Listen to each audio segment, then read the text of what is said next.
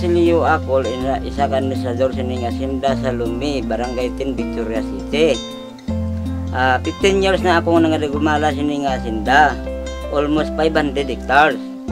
Number one nga importante gid nga pag-control sa ilamon kay ang tubo hindi may piktuhan healthy ang pagtubo ka tubo tapos ang kadre gina ah, mayo ang pag-apply mo kay ang seedling gina kung ganya hindi kagwa pero ang herbadox ah ga-control gid sa hilamon nga magwa. Kung gagamit kami sang kadre herbadox 65 days hindi pa nakagwa ang hilamon.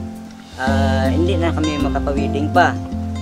Kung gagamit kami sang dayuron to per day almost tatlo ah, apat lima anom ka widing ang amon niya magasto. Pero kung kadre herbadox isa lang ka widing okay na po na kami sa amon tubo Ako gali si Renan ting gabi lang isa ka farm overseer sang under sang asinda Lacson.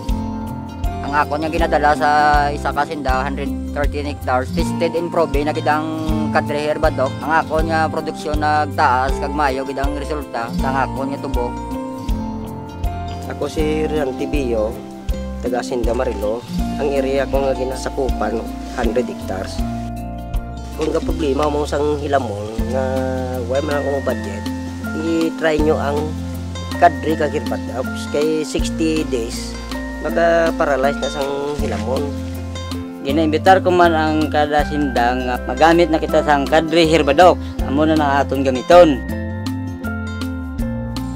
Kamutanan nga mga planters ginaganyo ko gid nga mangin kadri herbadox na kamo.